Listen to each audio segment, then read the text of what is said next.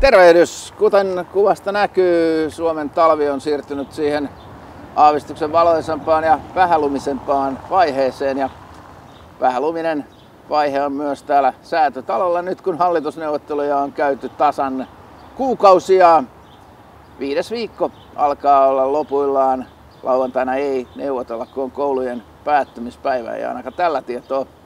Ja tietysti täällä on edelleen kaikki neuvotteluryhmät paikalla. Kukaan ei ole lähtenyt pois, paitsi tietysti ehkä jotkut yksittäiset neuvottelijat. Ja siitäkin huolimatta esimerkiksi maahanmuuttoryhmässä on kuuleman mukaan edelleen neuvottelijoiden neuvottelumitoitus vaaditulla tasolla ja ainakaan toistaiseksi ei vielä ole tarvinnut siinäkään ryhmässä turvautua työperäisen maahanmuuton täydennysmenettelyyn.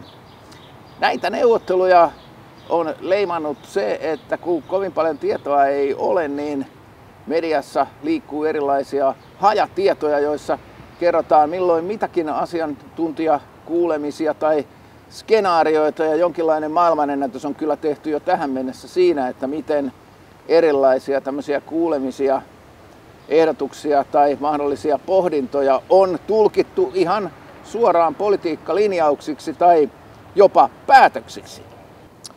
Yhdysvalloissa liittovaltion kongressi pääsi viime hetkellä sopuun liittovaltion velkakatosta ja, ja sen ylittämisen ehdoista. Ja tässä on ehkä hiukan virheellisesti mediassa uutisoitu, että tämä olisi ollut ensimmäinen kerta maailman historiassa, kun Yhdysvallat ajautuu maksukyvyttömäksi, tai ainakin osittain. Näinhän tietysti tarkkaan ottaen on, mutta totuus lienee kuitenkin se, että tämä kriisi ja sama näytelmä näytellään aika usein ja joka kerta, kun presidentti ja ikään kuin liittovaltion hallitus ja kongressi tulevat tai kongressin enemmistö tulee eri puolueista, joten siinä mielessä tässä ei sinänsä mitään yllättävää ole.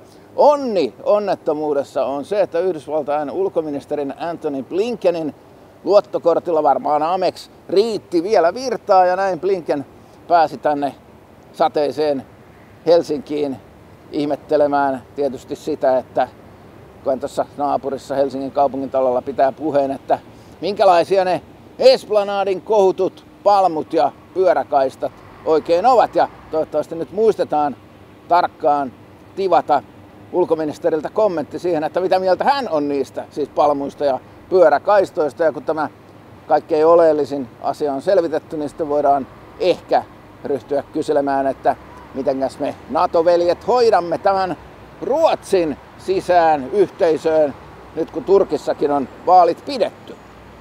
Sitran yliasiamies Jyrki Katainen siirtyy lokakuun alusta Nordean yhteiskuntasuuden johtajaksi ja jotenkin tässä nyt taisi käydä niin, että ihan suunnitelmat eivät pitäneet tai sitten ne muuttuivat onnea joka tapauksessa Jyrkille, mutta vielä keväällä meille kerrottiin, että Katainen siirtyy osakkaaksi suomalaistaustaiseen kansainvälistyvään kasvuyritykseen. Ja oikein hyvällä tahdollakaan Nordeaan juuri näistä määreistä ei oikein sovi yhtään mikään, mutta toisaalta on täällä meitä muitakin Nordean osakkaita.